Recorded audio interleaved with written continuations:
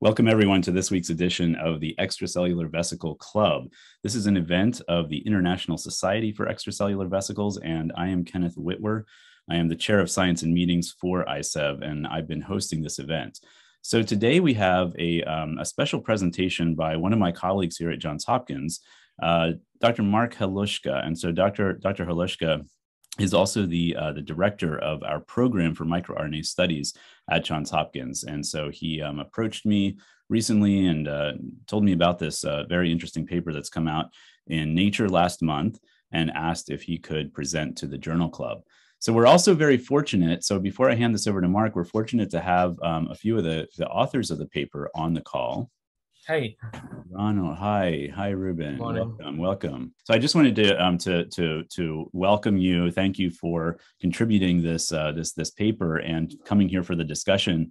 Um, so I'm wondering if you wanted to say just a few words about the the impetus behind this work and uh, just tell us a little bit about the process of uh, of, of, getting this published. So, uh, well, first of all, thanks for um, presenting our work today. It's uh, very exciting to see to see that and to see so many people um, feel interested uh, by this work. So actually, uh, it took us uh, many years um, to develop this project and also to publish the work. And uh, so I think um, so. Initially, we we had the, the idea to um, study all the microRNAs that are, are, present in the exosomes from many different cell types and see uh, what can you find in common and what you um, what is specific to each of these cell types. And uh, so Dr. Halushka, which um, nice to nice to see you in person or virtually.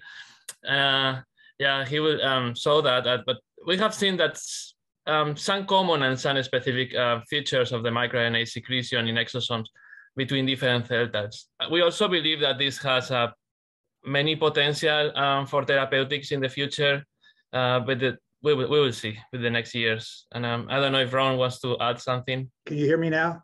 Yes, we can. Hi, welcome, Ron. Oh, hi, uh, thanks for inviting us. And uh, so I don't know what Ruben said, but we're happy to be here and I'm interested to hear uh, uh what Marc has to say.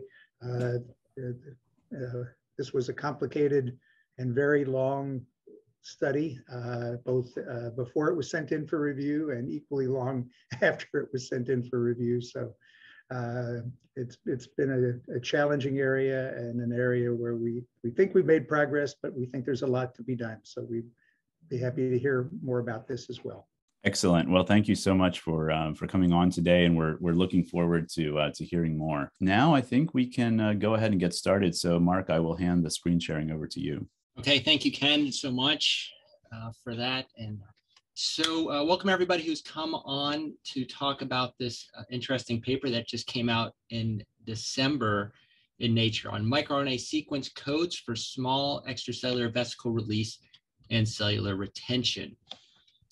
And I think there's uh, sort of a backdrop to this story is two different questions. The first question is, are microRNAs commonly carried by extracellular vesicles? And the classic paper in the space was the Valadi paper in 2007 that said, yes, uh, exosomes carry microRNAs and they carry a lot of microRNAs. And that was sort of the, the gospel that I knew for a long time until this very interesting paper came out in 2014 by Muneesh Tewari's group that said that, yes, exosomes do carry microRNAs, but they carry them at very low levels uh, I think both agree that there are microRNAs in exosomes. And if you have enough exosomes, it probably doesn't matter how many each of them carry. You'll still be able to transfer a lot. But I think that was the first interesting question that came up about microRNAs and extracellular vesicles.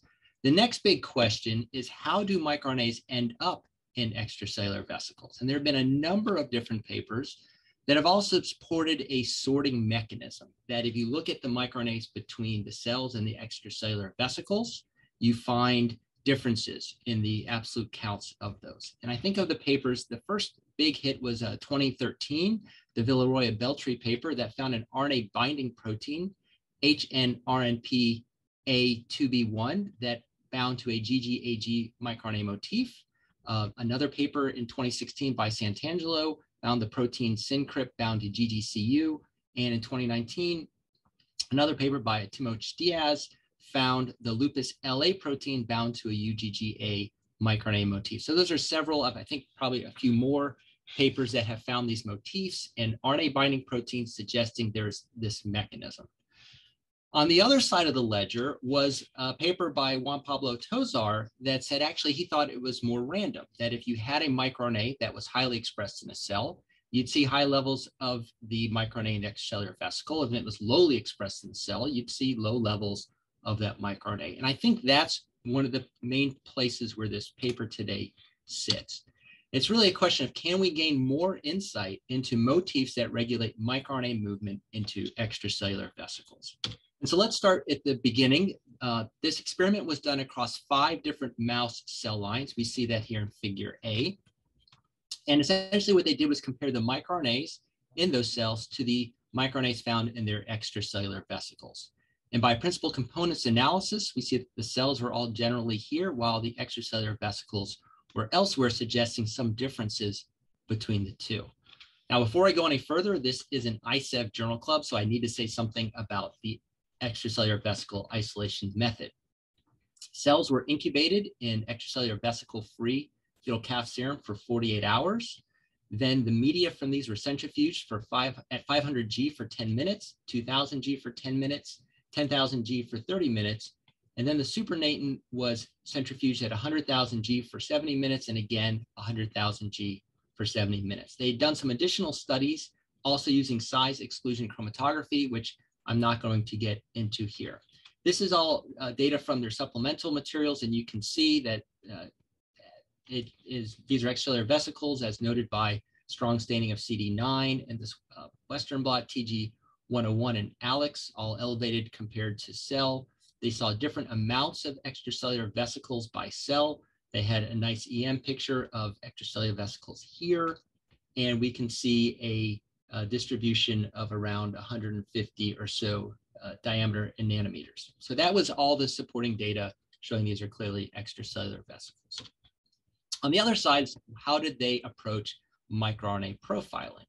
And here they initially used a quantitative PCR, qPCR based kit from System Biosciences that had 709 mature microRNAs. And the way you do this is you put a poly A tail on all of the transcripts in the cell or extracellular vesicle, and you simply amplify them by qPCR.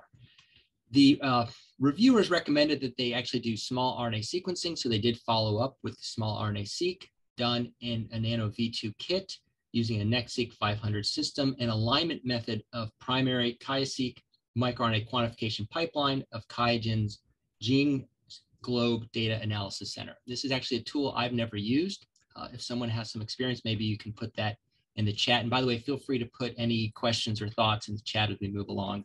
We'll have lots of time to discuss. Again, there's a difference between cells and extracellular vesicles, and we should figure out what is going on. So one of the first things they did was look to see if some of the microRNAs had cell specificity or if they were ubiquitous. And you can see at the cellular level, 454 microRNAs were ubiquitously expressed or shared, and then there were some microRNAs that were specific. The same was also true for extracellular vesicles.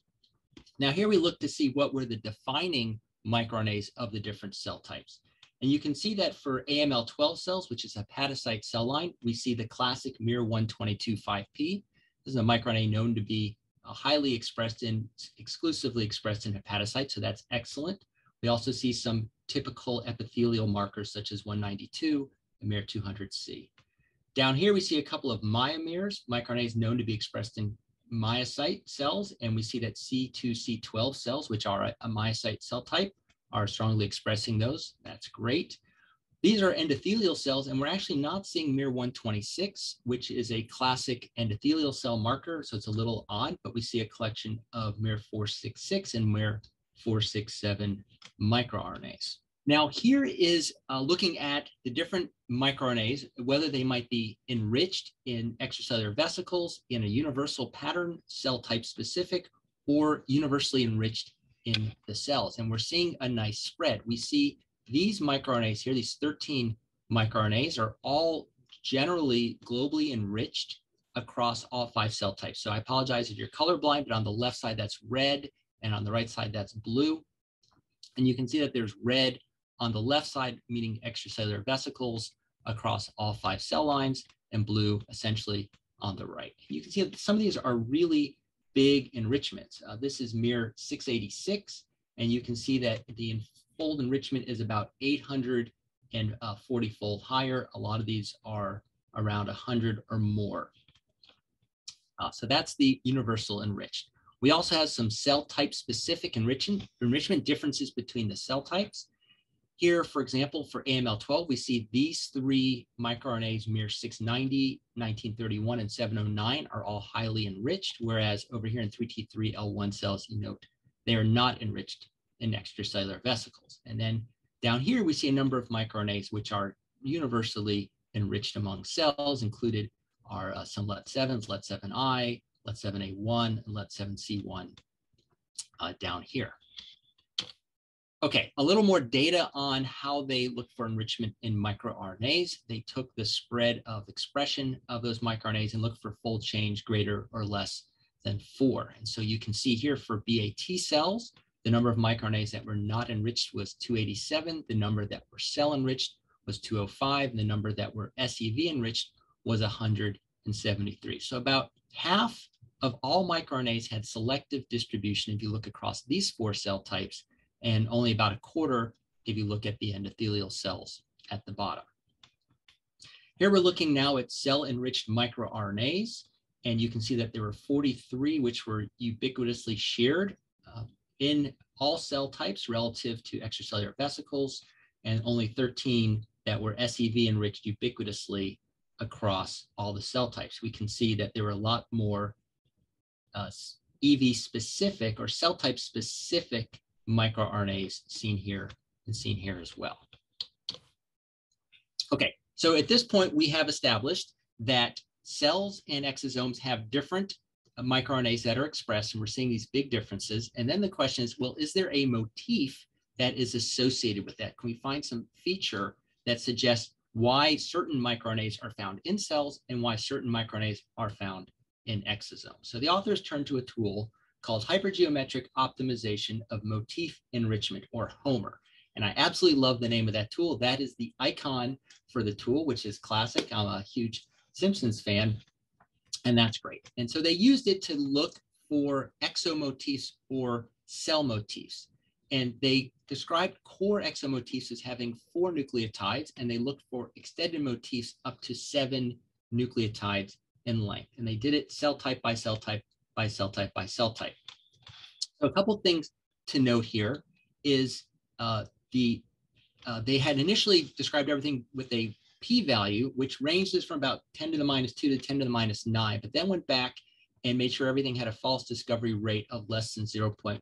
So that is true of everything except this one CAUG right here. Uh, a couple of motifs of interest that we're going to be talking about a lot more in this manuscript are CAUG, which is seen here, seen here, and seen here again across three different cell types, and the CGGG-AG motif that's seen here in endothelial cells. And this also gets used later, as does the UGUGU uh, for a few experiments. Uh, of note, we also nicely see the motif of Villarroya-Beltri, which was the GGAG motif. So we're seeing that in this cell type, uh, AML12 cells here, and the SVEX cells below. We do not see the motifs that have been described by Santangelo and Temoche Diaz, the GGCU or the UGGA motifs, as you can see. Okay, so a number of different motifs are seen that are found in microRNAs that are put into the extracellular vesicles. On the other side of the ledger, these were enriched in cells, microRNAs that stayed inside the cells, and these were called cell motifs. Again, we had core cell motifs. Here they were four or five nucleotides in length, and then the extended were the longer motifs. Same sort of idea, same general p-values of significance and false discovery rates. I think if you squint your eyes and say what looks different between cell motifs and exomotifs, I think we see a lot more A nucleotides here, more adenosines, and over here we see a lot more G nucleotides. So in a global sense, there seems to be a difference between the A's and G's. Okay, now that we've established there's these differences, an important question comes up is can you modify these motifs to direct trafficking? And the answer is yes. So if you take Mir 431-5P wild type here and then modify it to add a cell motif to it, do you get more of it being retained in the cell? And the answer is yes. So this is looking at the extracellular vesicle enrichment, which uh, this amount was there in the wild type, and then it decreased when you added a cell motif, saying, hey, stay in the cell, and it did.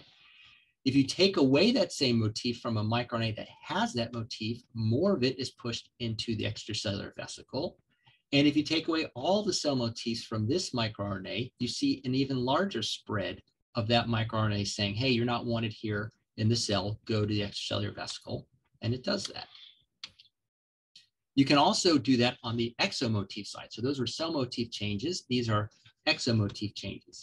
If you modify miR34C5P to add UGUGU, CAUG, or CGGGAG, you increase the amount of that microRNA going into the ex, uh, extracellular vesicles. And I should add that these are modifications. These aren't being added at the end and extending them. They're just nucleotide changes on the inside that are allowing them to have these motifs. So that was done for miR34C, and that was also done for miR26A for CAUG and CGGAG. I don't know if they didn't do UGUGU or it, they did it, just didn't show anything. They didn't share it. Uh, this is a pretty tight uh, difference here. And if kind of tracks with this, maybe that's why we're not seeing it there in figure three. Okay, so then the next question the authors asked, which is a great question, is well, what proteins are controlling this trafficking? And so they did this experiment in differentiated BAT adipocytes. And here they essentially collected a cell lysate and focused in on the wild type microRNA and the microRNA that had been modified with the exo motif. These were biotinylated and they did a pull down looking at the proteomics. So essentially, biotinylated miR34C or miR26A with or without the exo motif CGGGAG. Uh, that information, that material was analyzed by LCMSMS, and they looked for any proteins that had more than eightfold increased binding when there was a CGGGAG motif. And this is the result here. These are the top five proteins enriched to bind to the exo motif, and you can see really impressive gains. So this is ALYREF, and this is about 350 fold higher, or, or I think it's fold higher. And then RBMX is really high as well, SPDR, FUS, and SYNCRIP. So all these are really enriched that these proteins are now sticking to the microRNA with the exomotif compared to the wild type. And we see the same thing here for a different microRNA, miR26A. These numbers aren't as high, but they still are all significant uh, and increased. The, the order is a little different as well, though. So SDPR is the top hit here, whereas ALYREF was the top hit here. But they all replicate across the two different microRNAs.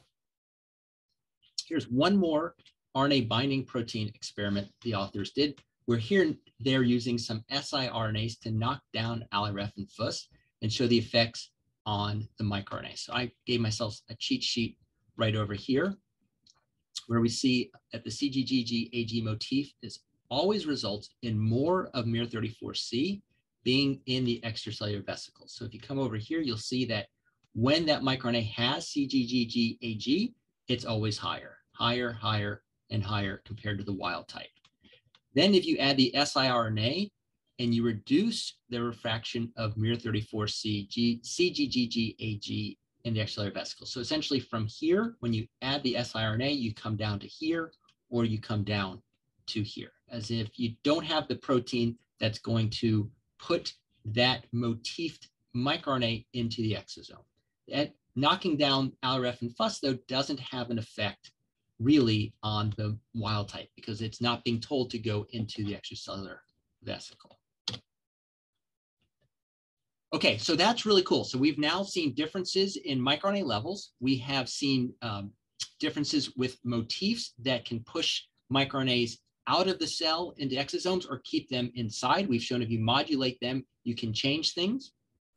And really the last question is, can that microRNA be seen to be pushed into another cell type and have function in that second cell type.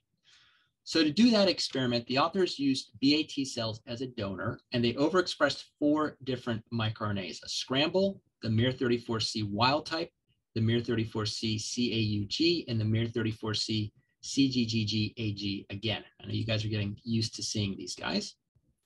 So they overexpressed them here and they looked to see what they could find in the AML12 hepatocytes, knowing that those exo motifs would push more out into the media, would more of it be taken up by the AML12 hepatocytes. So here we see the levels of endogenous miR34C, which was at about a thousand copies per miR1033P in the donor cells. And the recipient cells was a significantly lower value of sort of baseline miR34C, about 50 copies or so to 1033P.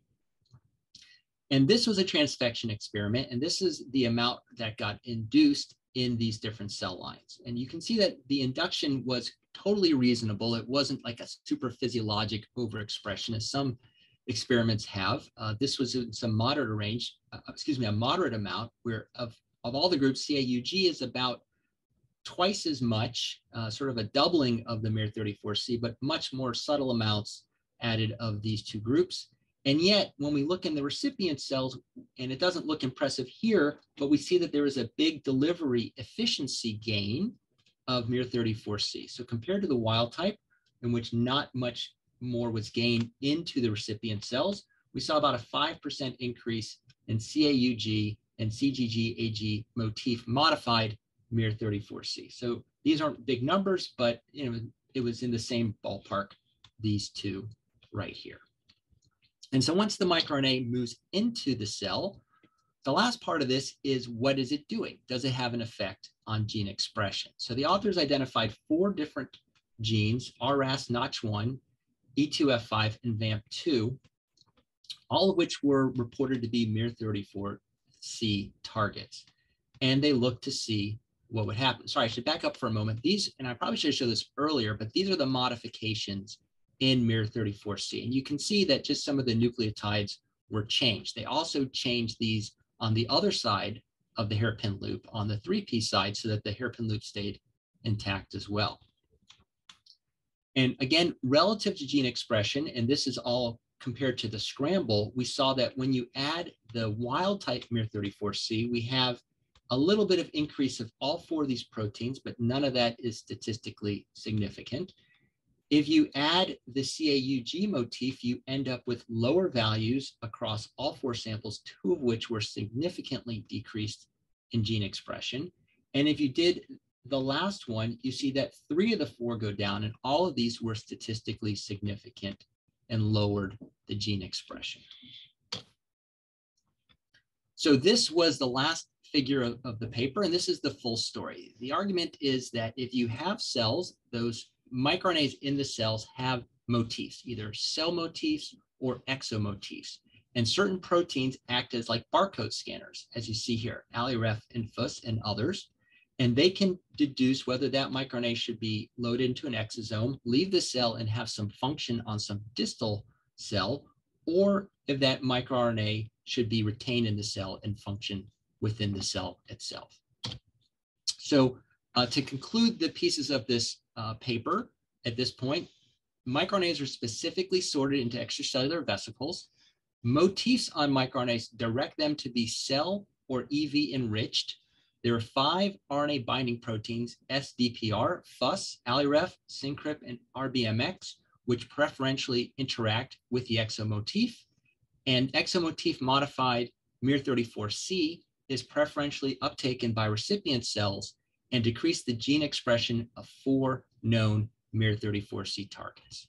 Okay, so that is to me the, the crux of the manuscript. And at this point, I have a lot to say about some concerns I have, but at this point, I thought we could open things up and and maybe see what's in the chat uh, or see that. So Ken, what uh, what should we do at this point? Yeah, thanks, Marc. I think we can do that. Um, we do have quite a few questions in the chat, and I, I just want to say, I, I, mean, I know that we have a lot of people on the call today, and we usually just go for an hour, but Marc has said that he's happy to stay around for a little bit longer. So, um, so why don't we why don't we do uh, do some questions now? So, Paola Vermeer asks, why does removing a cellular motif lead to incorporation of the microRNA in the EV? Without having to add an exomotif. This makes it seem that the absence of a cellular motif leads to default packaging of the microRNA into the EV. That's confusing, at least to me. Um, any any comments on that? Uh, that's a great point. I hadn't considered that. That is, I guess, confusing to me as well. Maybe it simply normalizes out the difference between the two, where if 80% of it was supposed to be staying in the cell, now it's more 50 50, and that's the difference that we're seeing. I don't have a great answer on that.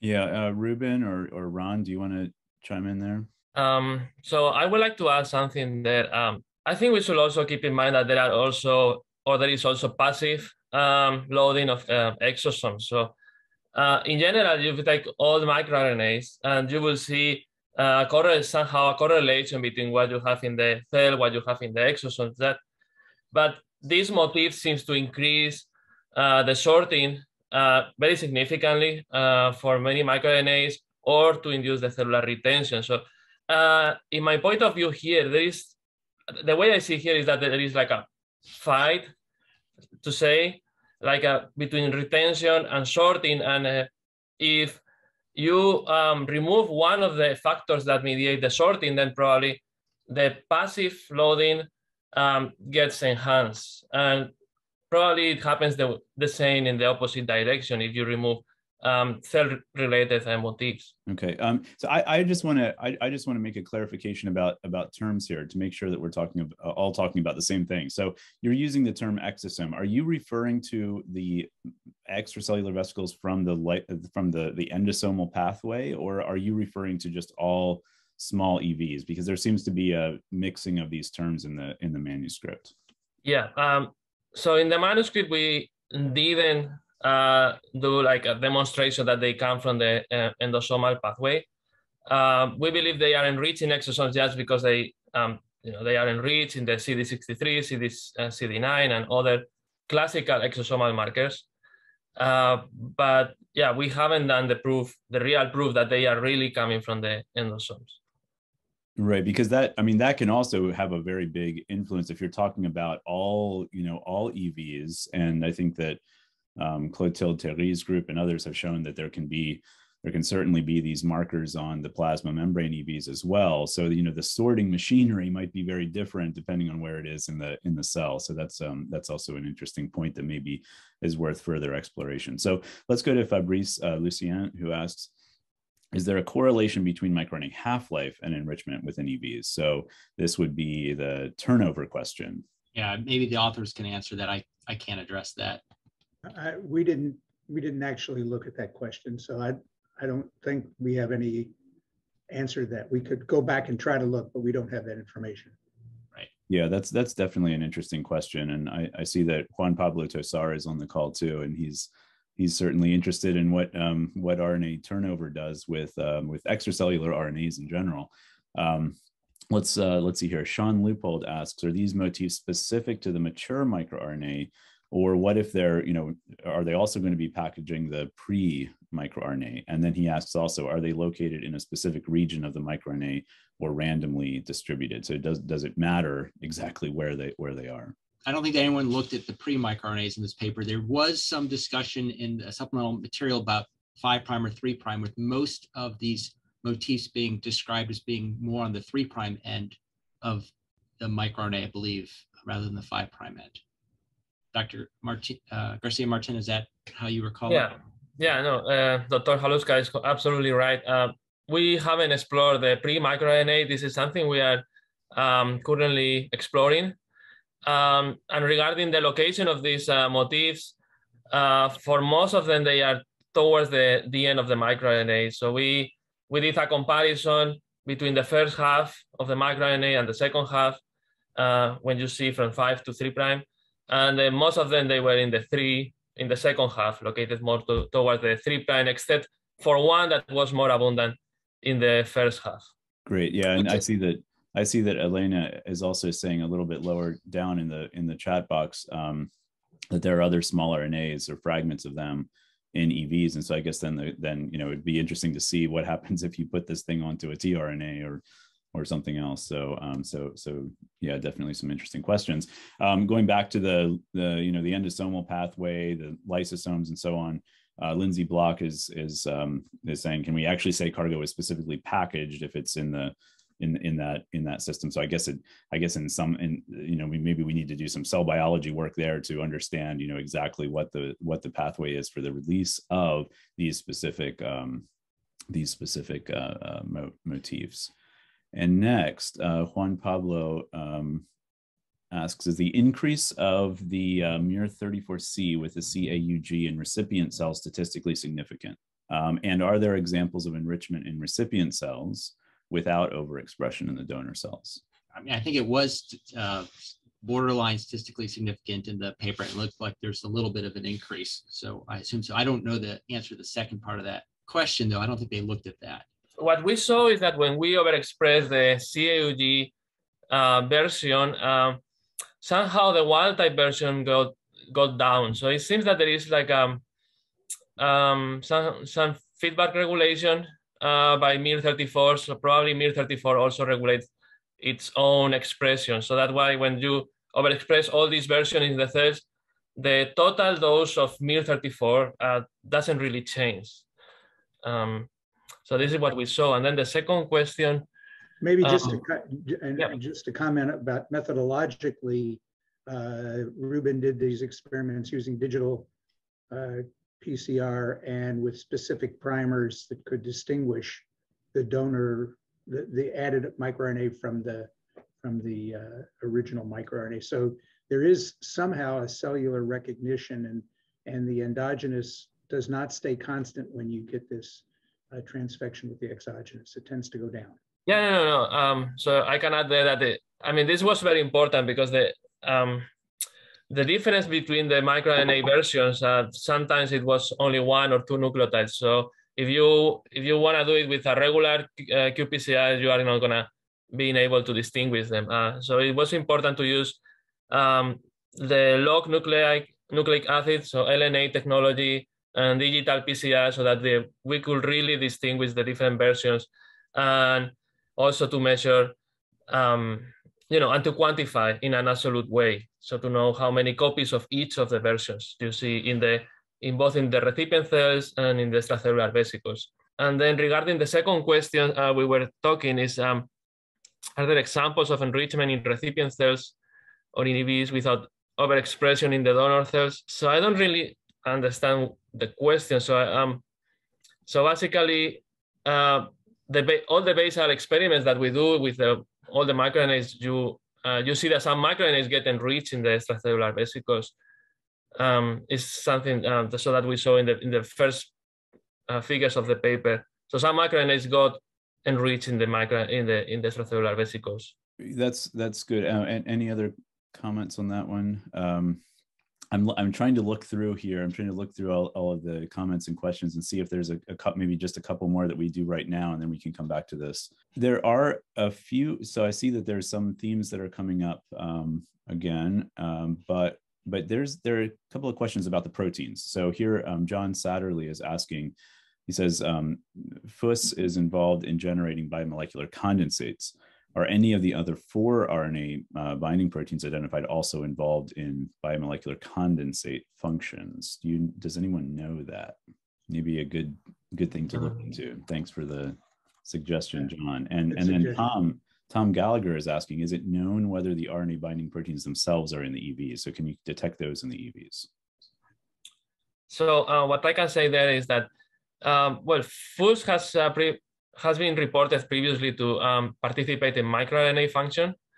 So it somehow interacts with microRNAs and with Argonaute. Um, I think this is the first report that show some uh, relation with the EV loading of microRNAs. And for the other proteins, um, was also reported to participate in EV uh, microRNA loading. And I don't think for the other three there was any uh, previous evidence that they participate in this process. And something that we are now exploring is how this happens, how these uh, RNA uh, binding proteins somehow recognize those motifs and lead um, to the enrichment of the microRNA in, into the extracellular vesicles. So uh, we don't know the, the exact mechanism for that. Uh, what we have done is try to then try to find those proteins in the EVs um, we couldn't identify any of those. So this seems to be more like a, a loading. So the, the RNA binding protein recognize the microRNA, load it into the extracellular, the you know the forming exosome or extracellular vesicle, and then the RNA binding protein stays in the cell. And just uh, two two more questions here about the proteins. One is um, the proposed like how do you see this this binding happening? So Moritz Weigel asks, how do microRNAs interact with these RNA binding proteins? Is it that the microRNA is in the argonaute as it usually is, and it's also binding to something else, or is it that there's a handoff? Do you do you have any speculation about that? And then the other question from from um, Mikhail Pechtel is, do you know anything about the protein copy numbers? I guess that would be in the in the cell then, because it, they weren't detected in the EVs. Yeah. So again, this is just a speculation. I guess the the micro the RNA binding protein um, is able to recognize uh, the microRNA probably before handing to Argonaute, uh, because we have seen that this um, loading of the microRNAs in the extracellular vesicle happens um, equally efficiently with the 5P uh, and, and, um, and 3P um, microRNA versions. Um, and so it happens with the guide RNAs, with the passenger strand RNAs. Um, so, but we don't have any evidence for that. You know, it's, it's something that we need to explore uh, further. And then um, regarding the copy number, that uh, we measure um, is in the supplementary figures. Um, so we measure the number of copies of these microRNAs uh, in the vesicles. And, and the number is small. Uh, I mean, this is something that, that has been reported before as uh, Halushka saw, Dr. Halushka saw at, at, in the introduction. Um, so in general, the numbers of the microRNAs you know, not, not only related to our paper, but um, all microRNAs, in, uh, they are usually in low copy number, but somehow they are still efficient to, um, to lead to some um, changes in the, in the recipient cells, even though they are small. What, what we have seen in this experiment is that when you introduce the motifs, then the copy number of the microRNAs gets increased in the, in the extracellular vesicles.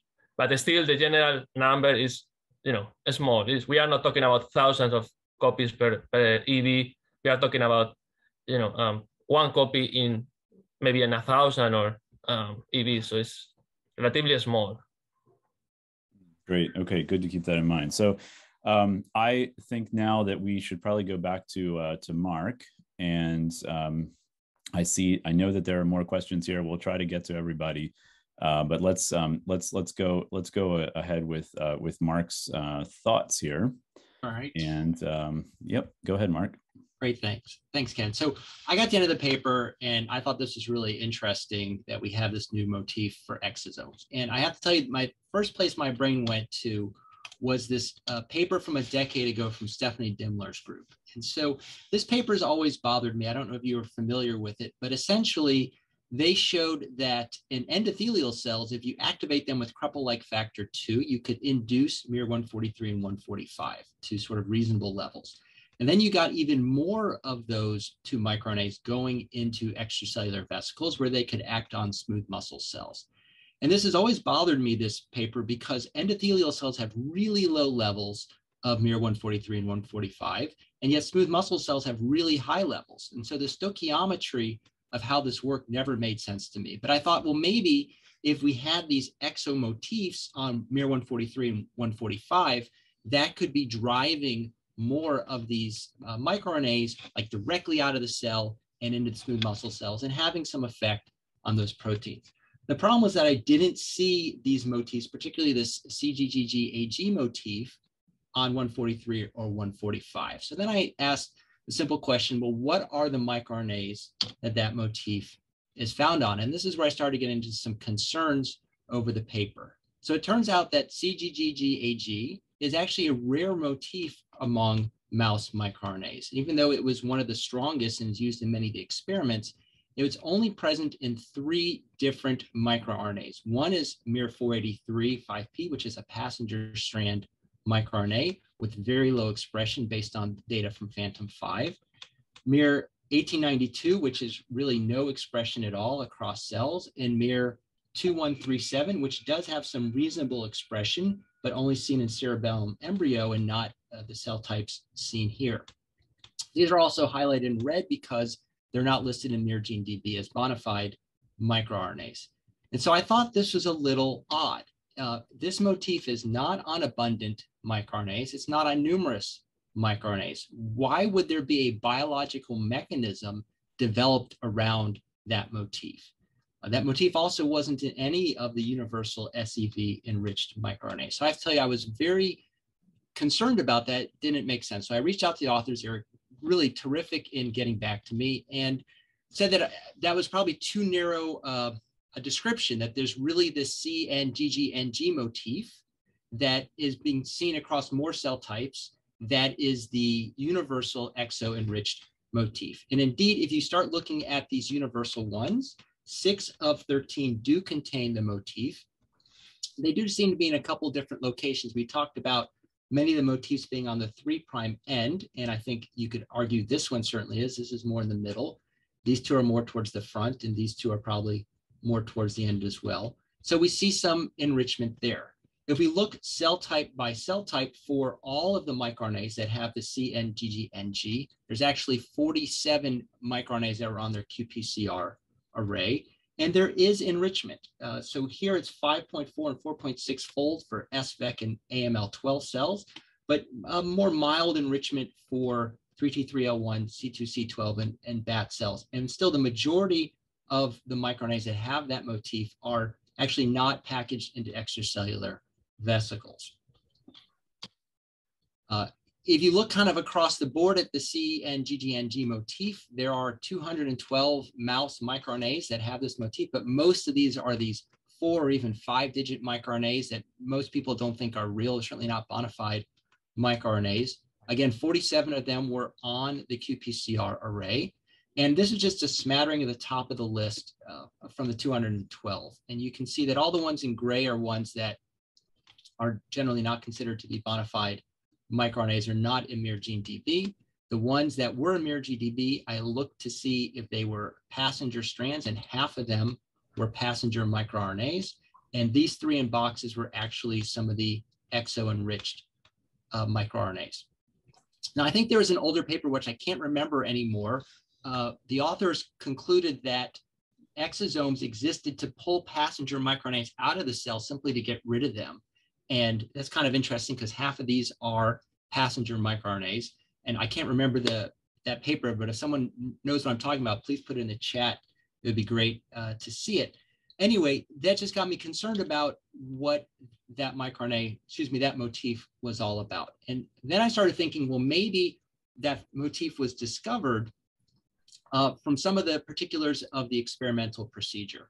One of my concern is that in the quantitative PCR, where everything is fold change, sometimes very lowly expressed microRNAs have bigger fold changes due to sort of noisy changes, and that can get incorporated into the data. And in fact, uh, I don't know that's true here, but for the endothelial cells, we see some of the lower values for these microRNAs that were cell specific, whereas we had much more robust values over here for the extracellular vesicles. The second part of that is that many microRNAs were labeled as cell specific, but they were really only cell specific within the construct of this experiment of those five cell types. one example was MIR325P. It's listed as an endothelial cell cell specific microRNA, but its expression is actually fairly low at 20 reads per million uh, per the UCSC genome browser, whereas it's much more highly expressed in inflammatory cells seen here in B and T lymphocytes.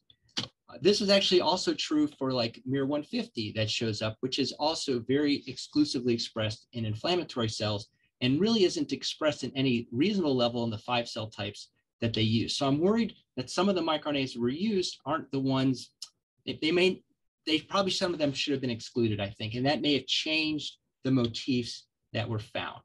Uh, because Homer is an interesting program and I got really concerned about how significant were the Homer results. And actually, when I was reviewing what the uh, what was um, mentioned to the authors about revising the manuscript, someone quoted this from Homer itself. I'll, I'll read it out here.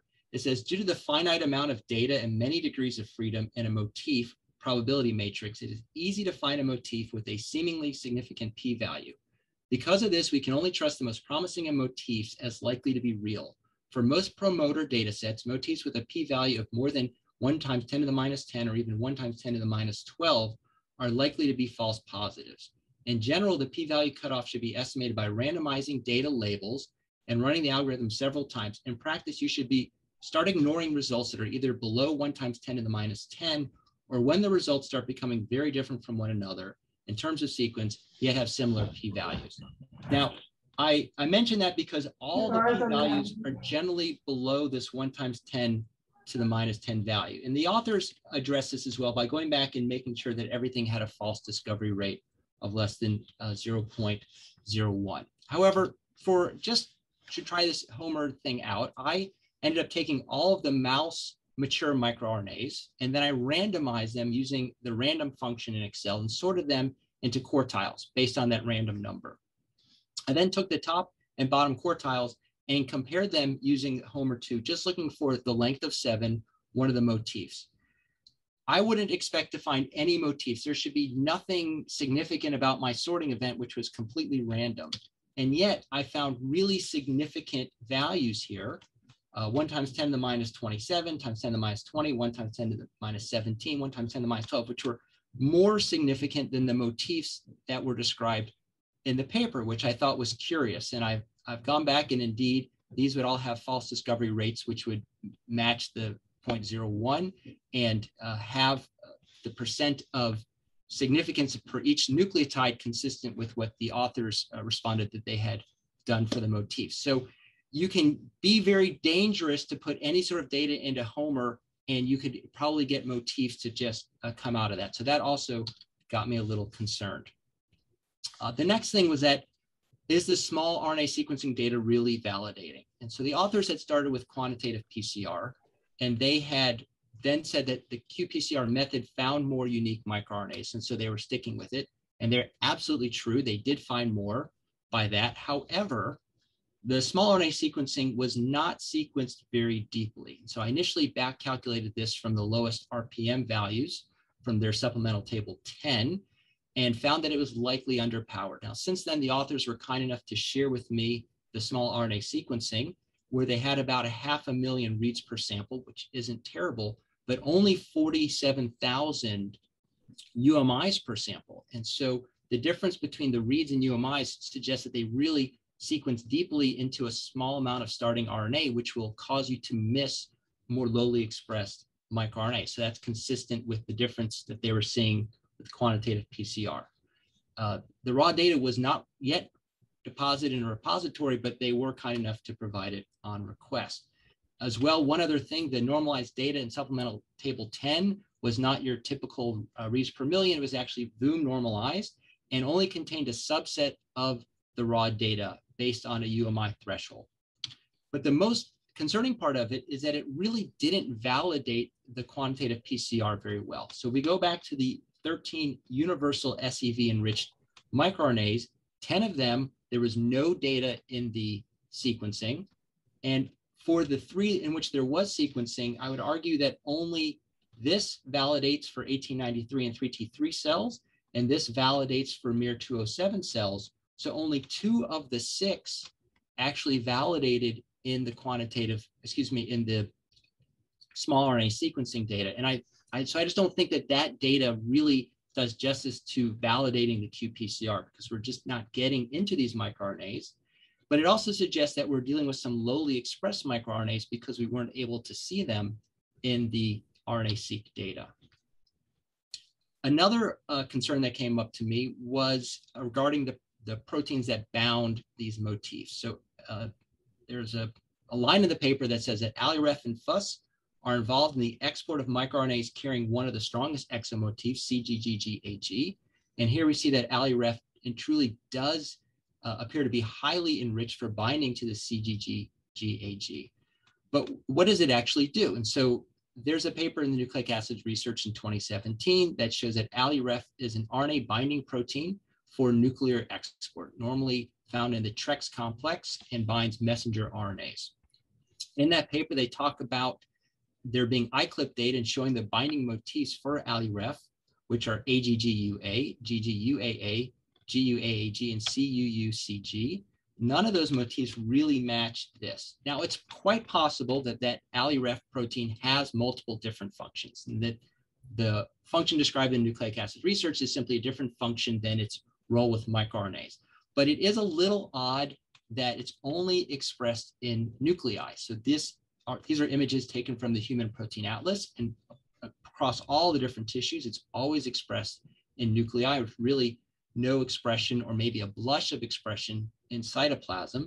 And that's also seen here by immunofluorescence. And so I'm knowing that extracellular vesicles, at least I think, and I'm not an expert here, that they're made in the cytoplasm and knowing that the last steps of microRNA formation are in the cytoplasm, I just don't know how this protein that's confined to the nucleus is really having that effect out here. So I think that was another concern that I had uh, with the paper. And the last concern had to do with the last part of the experiment where they were looking at uh, changes in gene expression when they use these exomotifs. So the first thing is, in my mind, microRNAs generally block translation and with lower protein levels, not necessarily the gene expression levels. Uh, for a microRNA to, to lower gene expression levels, it has to behave more like an siRNA with a lot of binding across it. It got weird to me initially because I felt that this should have been done with protein levels, not gene expression levels. But it was also weird that if you gave more MIR34C wild type, even though you don't get much more in, it still seems to leave more gene expression than the scrambled, as if the scrambled is somehow lowering levels of these genes. And then they were even further leveled with the CAUG and the CGGAG. Now, one thing to note is that these are 23 base pair in length. And there can be some, once you get past 20 nucleotides, there's some funky stuff that the cell has to double stranded RNA that's an immune response and can so can initiate some uh, secondary off target effects of um, immune activation, thinking this is like a, a viral RNA that's attacking it. So most inhibitors are thought to should be made of 20 nucleotides or less. And I'm wondering if maybe it was the length of this which is causing some off-target effects because that wouldn't make sense. It's another possibility though is that these motif changes that occur result in more binding and make it more like an siRNA. Now, the authors did a direct transfection experiment and they show that they all behaved equally. So that doesn't seem to be true. And then if you look at how the motifs change relative to the binding sites, as I'll show in the next few slides, it doesn't really hold true either. So I really can't understand how this happened. Uh, the authors also said uh, in describing this data, and this may or may not be the same experiment, so maybe the authors can clarify this for me, but they wrote, given the calculations provided in figure 4D from the manuscript, 28 copies of the CAUG motif containing microRNA and two to three copies of the CGGGAG motif containing microRNA were transferred to each recipient cell under the conditions of this experiment. So if you're only transferring so few copies to each cell, I was surprised you could get this effect across all these different genes. It just seemed a little odd to me. As I mentioned, it's possible that changing these nucleotides makes it more like an siRNA. And I think for Notch1, if you see there are uh, two different binding sites for Notch1 from the paper they cited. And what I've done is uh, made these comparisons accounting for a bulge as predicted by microT-CDS or just straight across. And for one of the two binding sites, we have three gain of binding positions with these nucleotide changes. So that's this bold here. And so this really does look like an siRNA more, and it's possible that that would have degraded that gene more for Notch1. But if you look across the other genes, we don't see that same thing. This is sort of a wash and that actually has more loss of binding. This one is about the same, and this one, E2F5, only has loss of binding no matter how we do it. So I don't think that really explains the gene expression data. It was also odd to me a little bit that those four genes that were selected are not ones that miRTarBase describes as validated binding sites for MIR34C. I don't know if that matters at all. Uh, MIR34C is clearly lowly expressed in AML12 cells. It's seen here as less than 50 copies relative to 103. I don't know the absolute value on that by the sequencing, there was no miR34C expression in the gene. So it's really lowly expressed. And when a microRNA is not naturally found in a cell type, I often wonder, even if you overexpress it, if it's going to behave in a biological fashion. So that's a concern. And then the last part was, well, what were the relative levels of the genes in AML12 cells? So I went to Gene Expression Omnibus and just searched for any AML12 data set. Uh, this may or may not be relevant, but the median gene expression levels across that experiment were about 450 or so. And we see that VAMP2 and RAS had levels more in the 100 range, whereas Notch1 was about tenfold higher at uh, 1300 or so, as you see here. And in doing that comparison, then starting to put all these pieces together, that you'd need more microRNAs to modify Notch1 relative to these other two genes, I would think. And yet everything really comes out about the same in the wash. So regardless about how much microRNA got into the cell or how much protein there was, excuse me, how much gene expression there was in the cell, things were about the same. So uh, just a lot of questions I have about whether this is really sort of an on-target effect or an off-target effect affecting these four genes.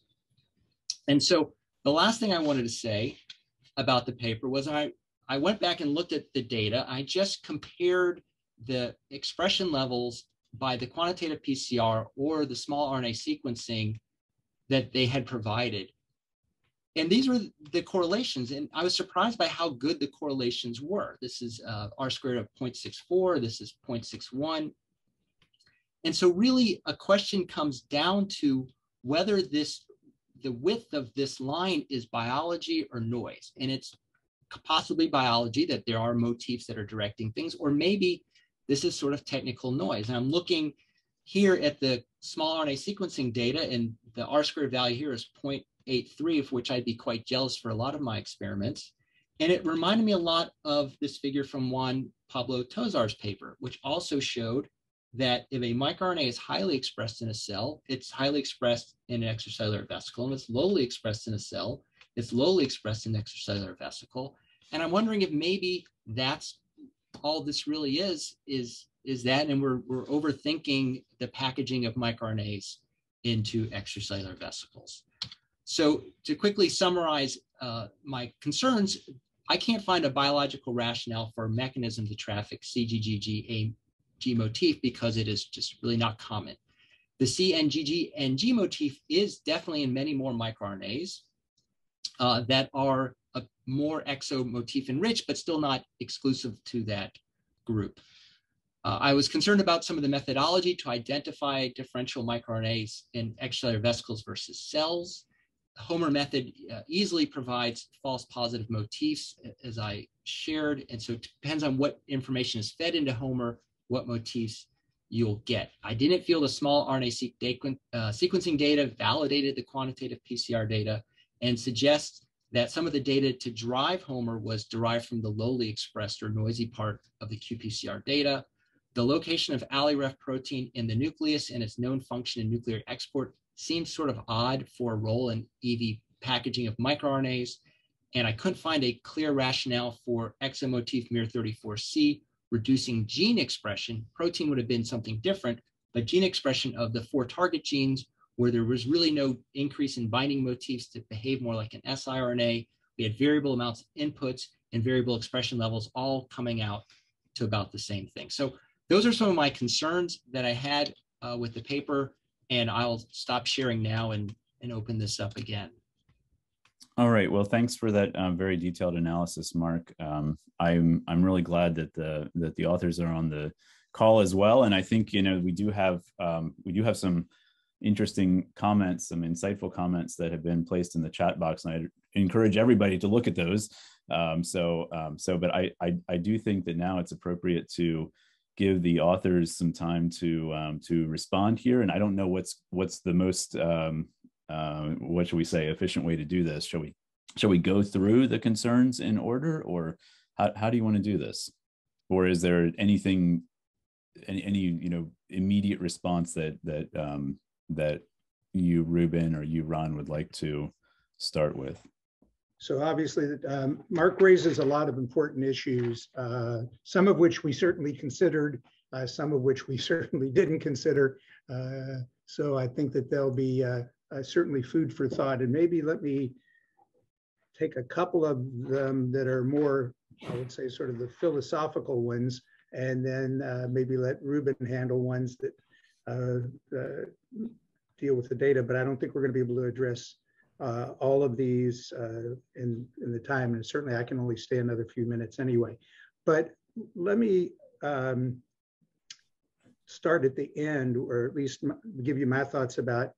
I mean, I think at the end, the suggestion is that uh, that may that uh, maybe everything is just random. That uh, that there's ran, you know, that that was you sort of said that our correlation looks a lot like uh, the published correlation of a person who concluded that everything was random. And um, what the main thing I would say about that is, uh, and this sort of also goes back to the identification of motifs in general, is that the purpose of this wasn't to try to do a statistical uh, analysis of whether there were or were not motifs. The statistical analysis was an attempt to identify motifs we could test the biology of. Uh, and so I would say that uh, while we didn't test all of them uh, for sure, uh, we tested only a small subset. Certainly for the cell motifs that were tested by mutation or the exomotifs that were tested by mutation or by mutation to add or subtract, uh, almost always there was a behavior of the microRNA that changed in the direction that was predicted by what we had believed that function was. So if we added an exomotif, there was more X, there was more vesicular export. If we took one away, there was more cell retention and uh, opposite was true for the cell. So I think that the statistical correlation is a statistical correlation, but I do think that the ability of these motifs to drive some biology is there because we can show it's there. And that is separate from the question of whether the mi microRNAs get into the recipient cells and can be sufficient uh, to regulate uh, uh, mRNA stability or protein expression. Uh, so that would be at least one issue that I would sort of like to deal with. I did think it was interesting, and I, I do appreciate uh, your comments because I hadn't really given any thought, and I don't know if Ruben had given any thought to this notion that we maybe could also change the intrinsic properties of the microRNA, although we didn't see that when we did direct uh, transfections. Uh, maybe the second uh, uh question that I would uh, like to sort of respond to a little bit is um, the uh, use of Homer, because we struggled a lot with how to do the statistics on that, and Ruben will perhaps recount if he's still here. Yeah, he's still here. I mean, we even contacted the authors of the Homer program. Obviously, when you use Homer to look for a DNA sequence motif, you're looking in the context of the whole genome. So the background is all DNA, right? And so to get, you really need a high statistical threshold to find a motif against all DNA. When you're looking for uh, a motif in microRNAs, the, the total universe is say 700 microRNAs times 22 nucleotides. So it's it's 14 or 15,000 bases. That's that's the whole that's the whole universe of background. So and and we did not do the the uh, computer experiment that you did, which I think was one way to approach it, which is to try to do some random randomization, uh, create our own randomized library. But we did try to take into account this, this smaller universe of sequence that was the background and, and do the best we could uh, with uh, statistics with that in mind. Um, finally, I'll just say that uh, that from the very beginning, we did not uh, we we did not focus on this issue of uh, whether our five cell types represented all cell types in the universe, because we know they don't. They don't represent even uh, necessarily perfect examples of, normal fat, muscle, liver, endothelial cells, because within each of those, there are subtypes of cells to begin with, right? So we know that every one of these cells has intrinsic heterogeneity. And if you have a 3T3L1 fat cell, is that more like an, it's already been shown that it's neither like an, a subcutaneous nor an intra-abdominal fat cell. It's its own fat cell, and probably different clones of 3T3L1 will behave differently. So I do accept the fact that uh, we are looking at a, a, limited universe. I would try to counter, you know, that limitation by saying, you know, that in the end we were able to uncover what we feel is uh, what site or sequences that do have this ability to change the export versus the retention of microRNAs. And we are, you know, our ultimate uh, goal was both to try to understand potentially the biological process, but also to figure out how this could be manipulated. I noticed one question in the chat was, could you use this to manipulate microRNA retention or export to change it? Uh, it um, their therapeutic potential, and that's sort of a direction we're going. Uh, but I think that uh, you know you do raise a lot of important points. Um, you know, maybe another two years of revision, we could have dealt with a few of them. Uh, this was uh, there were uh, the first. we I will just make a confession since a lot of this is published anyway. But you know, reviewer one in the initial review raised 28, 28 separate comments, all of which required extra experiments.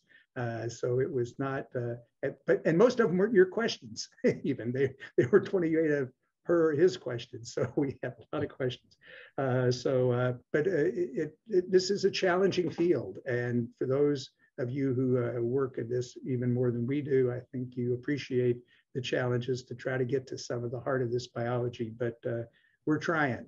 Uh, I don't know if Ruben, you want to take on a few questions, but hope hopefully that helps give some background to some of the questions you raised, Mark. Well, yeah, thanks very much, Ron. I, and I just want to say on behalf of everybody who's on the call, thank you for for your time today um, and for for joining us and, and giving your insights too. Um, so I know I know that you're going to have to go, but we we really do appreciate that you uh, that you joined today. So th- thanks very much, and all the best on the continuing work. All right, Ruben, did you have uh, did you have? Yeah, um, yeah, I would like to add something there. Um, so um, I guess um, I would like to start with the Homer. So um, so what you can see in the paper is not all what Homer uh, releases. Uh, so uh, when you run Homer, there are some motifs that are um, and a little bit enriched only in your population of interest, and the the variability in the nucleotides is too high. So you need to really, you know, make a like, analy- deep and careful analysis of uh, what Homer tells you.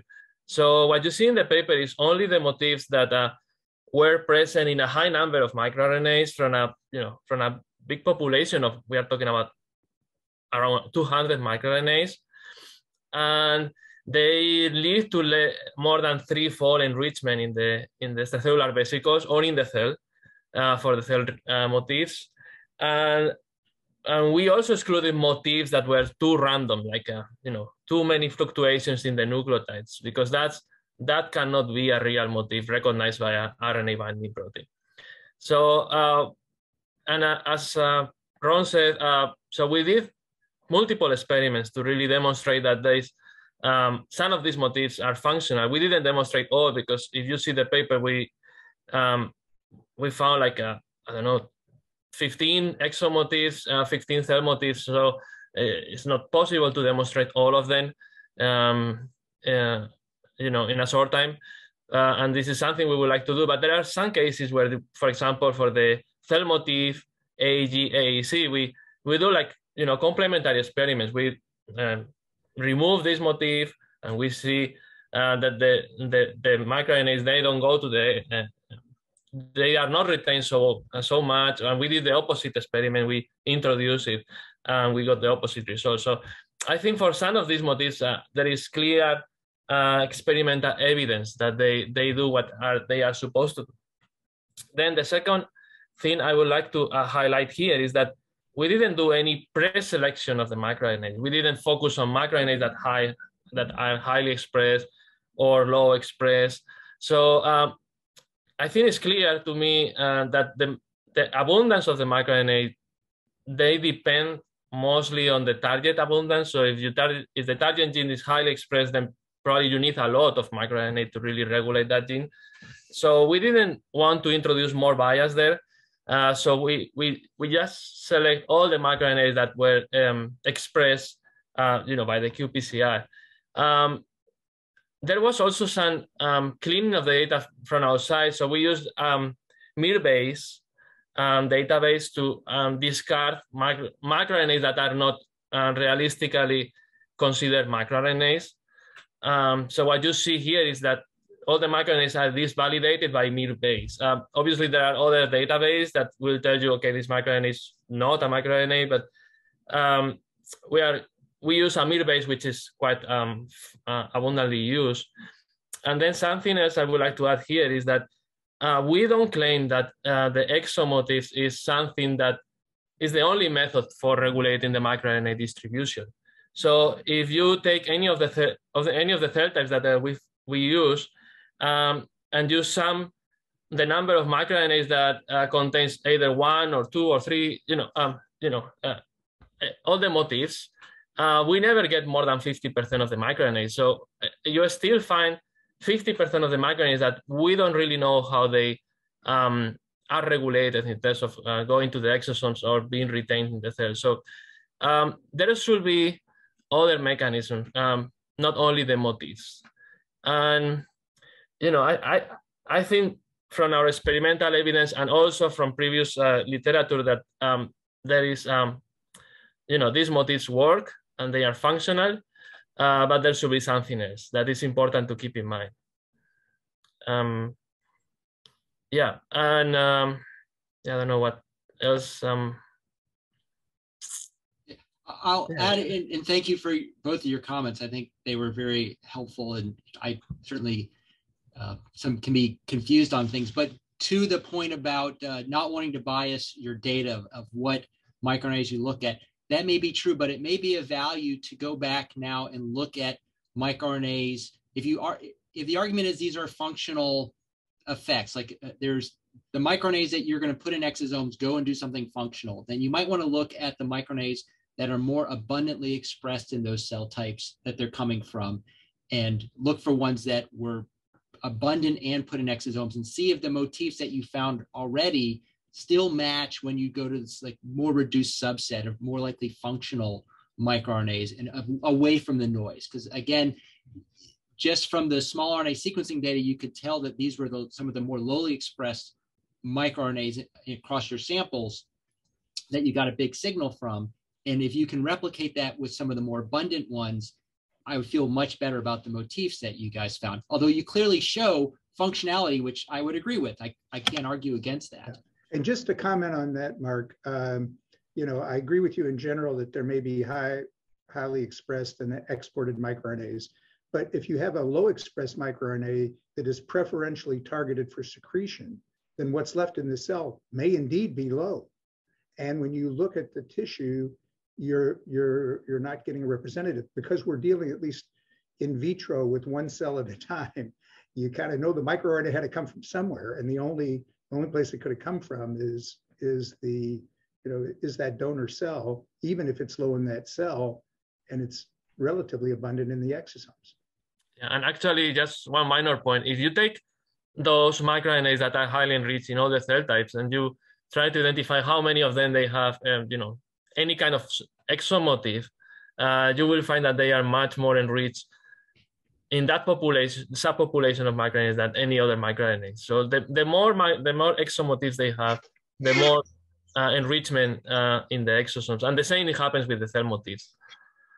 I, I am going to have to sign off, but uh, thank you for letting us attend, and I'll let Ruben finish up with you. Thank you. Lizzie, Lizzie Delar, do you want to, you, you had two, I think, interesting comments here. Would you like to unmute and ask these questions of Ruben and Mark? Uh, hi, yeah. I just wanted to ask, you showed in one of the supplementary figures um, that there's a higher GC content of some of the microRNAs, which are commonly enriched in all of the cell types, um, along with the lower Gibbs free energy. So do you think that rather than the motif specifically, um, the, the GC content might be a more sort of general mechanism? I don't really know how the general GC content can make um, can participate in that. Um, so we have seen that there is a correlation between the GC content and exosomal enrichment. Um, but we claim that the, this is probably because as, as Mark uh, saw that exomotifs, they, use, they usually contain more Cs and more Gs than, um, than what you expect as a, you know, an, as an average um, nucleotide um, sequence. So um, yeah, we haven't explored that. And, and the other point that you brought up, which I think is very interesting, is the delta G. So the, the G's uh, free energy. Um, so that points that the microRNAs that um, are good in going to the exosomes, they might have some sort of secondary structure, uh, but we haven't explored that. Uh, but, but I think it's something that we, we should look in the in the coming years. The, the other question I just wanted to ask with your motifs in the different cell types, did you, for example, take one motif found in one cell type and search for that in the other cell types or do any comparison between them? Because um, it looked like some of them were quite similar to each other, I'd say. Yeah. Um, so, uh, for example, what we saw is that if um, so we some of the motifs we uh, introduce in in different cell types uh, like the ones in the MIR34, we introduce in, in brown adipocytes, in uh, in AML12 hepatocytes, and also in endothelial cells. And we saw a different response by, by, by, the, by the cell types. So some of the motifs were very efficient in the cells that we identified initially those motifs, and they didn't do much in the other cells. Although there was an also enhancement in the in the secretion of the microRNAs. So that points that each cell type should have something um, that recognize these motifs differently. So, for example, uh, this is what we we think is that they, they might have different levels of the uh, RNA binding proteins recognizing those motifs, uh, but we haven't um, analyzed that. Yeah, so we have I, I, Bastian Fromm is on is on the line here. So he's he's uh, he's behind the MirGeneDB uh, database. For those of you who don't who don't know, um, so so did you have a perspective here for us? Yeah, definitely. Uh, thanks, first of all, for really good presentation and really good discussion. Um, thanks, Mark. And so for the microRNA perspective on the sorting into the EVs, this is certainly really, uh, obviously, we had 217 participants at, at, at the peak today. So very interesting topic for many people. But um, I think um, what, what Mark said, I, would like to kind of repeat it again. Uh, it is very important if you are studying the effects, the biological effects of microRNAs that are or are not sorted into EVs, you might want to make sure that they are actually microRNAs or can work as a microRNA. So it could be that there's a lot of RNAs sorted into EVs based on motifs um, that actually do not end up in Argonaute and in the RISC complex. Thus, they are not able to downregulate anything in a recipient cells. So I think what I would do, actually, we might as well do it with the data, is uh, to restrict uh, what you did, not uh, uh to, to MirGeneDB, to actually bona fide microRNAs and find out if your signal holds up or maybe actually the signal gets stronger for real and highly expressed microRNAs because the, it's one thing to say, yeah, there's a big deregulation, um, but the other thing is, do actually those RNAs reach a physiologically relevant level in the recipient cell or not? So that's my five cents here. Yeah, I, I think that's a, a wonderful point, and uh, um, yeah, as far as I know, uh, in the last years, there has been some research on trying to understand if the EVs, microRNAs, are really loaded into Argonaute or not. And because I think something that is um, very important in the field is that re- despite having a very low number of copies of microRNAs in the EVs, they are quite functional or, or they are very strong um, in the in recipient cells in mediating some effects. So one question is whether those EVs somehow are connected to the Argonaute in the recipient cells and lead to more uh, functionality. This is uh, something that we don't know. Um, I mean, when we did the calculation in the paper uh, to see how many copies of the uh, microRNAs get uh, delivered to the recipient cells, uh, we were a bit surprised that the, the copy number was relatively small.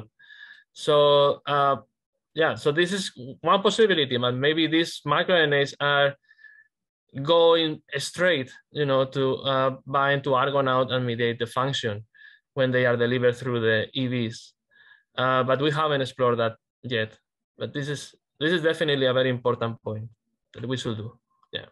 Agreed. All right, thanks for those comments. Um, I wanted to ask uh, Michiel Pegtel if he wants to say a few things. Um, he had some insightful comments about the nuclear proteins and um, and more. So, Michiel, do you uh, do you want to share? Yeah, can you hear me? Yeah, we hear you very well. Cool. Uh, fantastic discussion. I uh, I really enjoyed it. Uh, um, and also the comments and um, uh, yeah, the very insightful comments that uh, concerns that were made by Mark. I wanted to put some um, defense then for the for the authors in the sense for the nuclear protein, for example. I think multiple people have shown that nuclear proteins, even though they're highly um, enriched in the nucleus, they can transport very rapidly um, to the cytoplasm and back, such as the LA protein that has been found uh, by some of our studies, but also uh, by others have been repeated that LA can play a role in small RNA sorting into exosomes. So that's one thing about that uh, concern.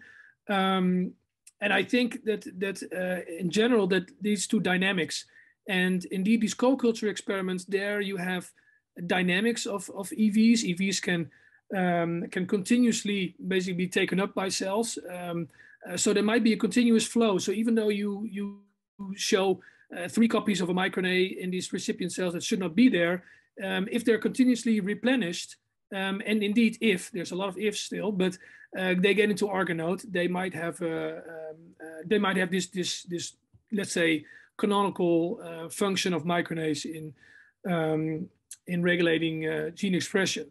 So uh, even though I think this paper was not really about the functional uh, aspects, because I think there's a thousand other questions we can um, wonder about these functional aspects, particularly in light of the first um, or the or a previous uh, debate that we had here on your um, uh, on your EV Journal Club, uh, Ken. So I think uh, maybe people will remember that.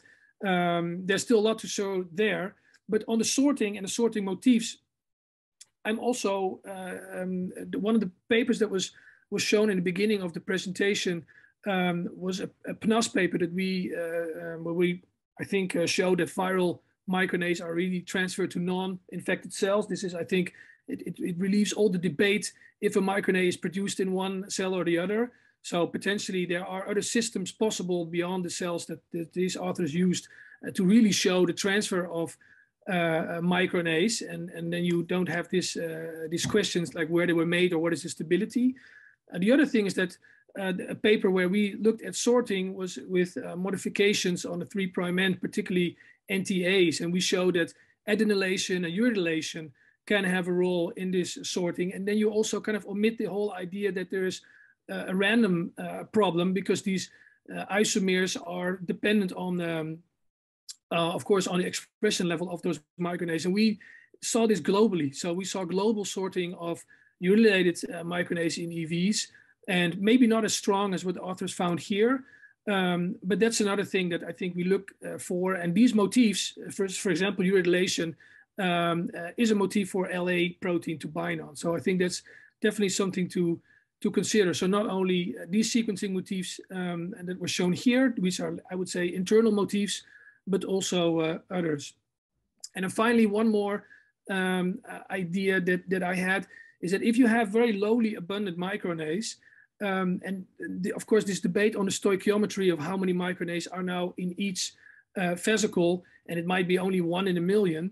Um, but you can imagine if you are a very lowly expressed microRNA, uh, I don't know if this if there are mathematicians uh, here, but if you are a very lowly uh, expressed microRNA, let's say one copy in a cell, what is the chance that that microRNA actually does get into uh, an EV? Specifically, if we know that um, cells they do make a lot of EVs, but not, well, uh, let's say not billions. And I don't know how many copies of, of a microRNA we have. I'm not even talking about the canonical microRNA, let's say the mature microRNA, the, the 21 nucleotide, but with all these isomers as well, because we know there's a lot of isomers um, uh, as well for each microRNA that you don't pick up with PCR. At least you can distinguish them, but you do pick up that with sequencing. Um, so I'm just wondering, if, is it even possible for a very lowly abundant microRNA to compete uh, with all the other microRNAs that are there and then still get into an EV? I don't know, maybe at least uh, if the cells don't make so much EVs, I would wonder. So there seems to be, there must be some kind of sorting mechanism. So, um, and wrapping up, I think it was a really uh, excellent discussion and I really commend the, the authors to come here and uh, listen to the, to the concerns. I think this really helps uh, uh, the scientific discourse. And I was hoping actually that such type of uh, scientific discussions would also uh, occur somewhere else. For example, the AQRNA-seq paper. I don't know if people have seen that paper. I think there's a lot of debate there. So um, uh, yeah, uh, applause for for you, Ruben, and uh, of course your uh, boss. All right. Well, thank you, thank you, Michiel, for for those comments. And I do um, I do see that there's some support in the chat also for maybe turning this into something that we can share even wider with the community. So, um, so certainly the analysis that Mark has done, and then the responses that the authors have had, and maybe that is maybe that is a good idea and something that we can consider to to help move this area forward. It's been a really fun uh, hour and a half for me anyway, and I think for many of you. And you know, we still got hundred people in the call at the end. It's it's um, it's it's clear that there's a lot of interest in this area, um, and I want to commend the authors, uh, Ruben and Ron um, and also, um, of course, Mark for presenting today and for, for sharing his analysis with us. Thank you all, and uh, thank you for joining. Thanks for all the comments from the audience. And I hope that you all have a great rest of the week. And I look forward to seeing you again sometime soon at the next EV Club. So take care, everyone. Bye now. Bye. Thank you. Thank you all for coming. Bye.